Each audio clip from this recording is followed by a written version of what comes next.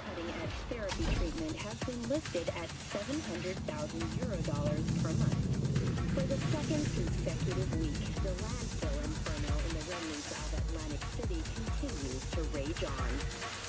The 10,000 acre dumping ground ranks among the world's largest and contains both